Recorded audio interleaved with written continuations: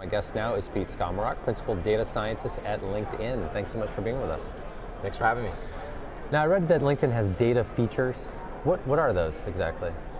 Uh, so, data features at LinkedIn are really parts of our product. They're infused throughout the experience. So, LinkedIn is the largest professional network in the world. We have over 200 million members. Uh, and those members are all connected to each other, mm-hmm. right? In some fa- fashion, either as colleagues or as uh, uh, alumni or as peers, right? So people at the Strata conference are often connected.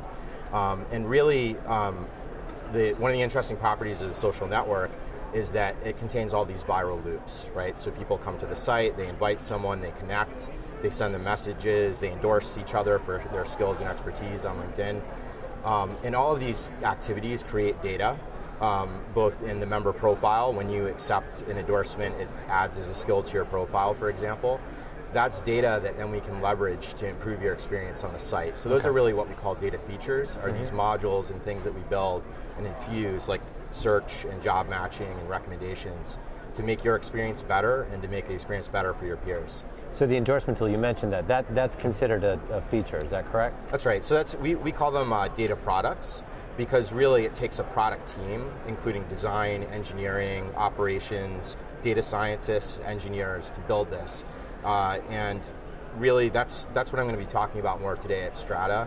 Uh, I'm going to be talking about uh, particularly LinkedIn endorsements and mm. skills mm. And how really what we're doing is we're tapping into a fundamental desire that we as humans have and as professionals to be validated and to validate others. And what we've really done is we've taken that desire and we've provided uh, a network and a channel for which people to express that desire.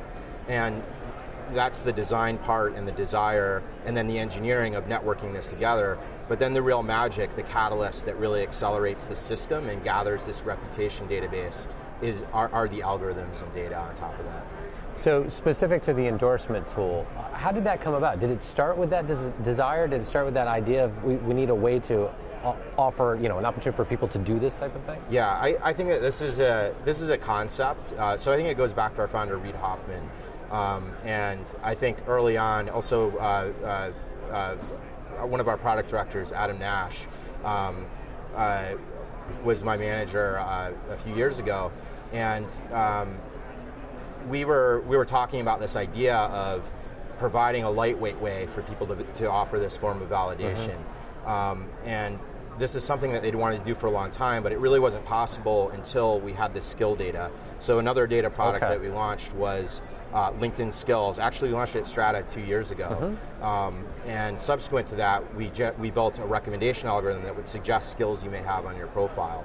So really, once we had those two building blocks, we could then build this this long-term vision of a of a endorsement ecosystem where people could endorse each other for very specific topics. So the skills tool actually led to the endorsements one, is that that's correct? Right. And it couldn't have gone the other way, is that right? It, it was kind of a chicken and egg problem, yeah. right? And so that's another thing I'm going to talk about is how do you bootstrap this when you don't have that structured data? But it, it would be bad, for example, say there's like thousands of variants of Microsoft Office that someone could put on their profile. Mm-hmm. Unless you have this data normalization and this data right. standardization, um, which we did with LinkedIn Skills, we really provided transparency and showed this to the users. That allowed us to clean up the data and allowed our users to help us clean the data.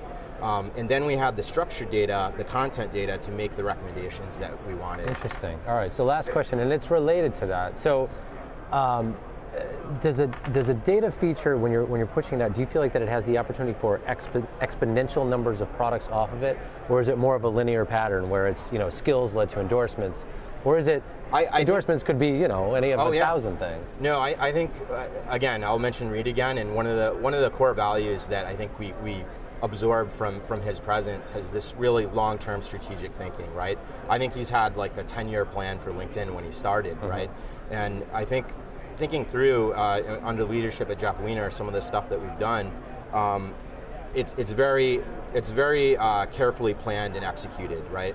So skills was phase one, mm-hmm. uh, suggestions phase two, and then suggested endorsements phase three. And really, um, we're at the point now where we have this massive database of skills and reputation, and there's it sets the stage, just like skills set the stage for endorsements. This sets the stage for the next uh, generation of data products. And you can imagine what what's the value of knowing um, who are who are the people who are really being endorsed for Hadoop.